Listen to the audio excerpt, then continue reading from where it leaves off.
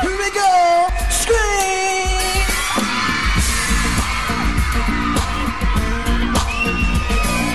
My grandma and your grandma sitting by the fire.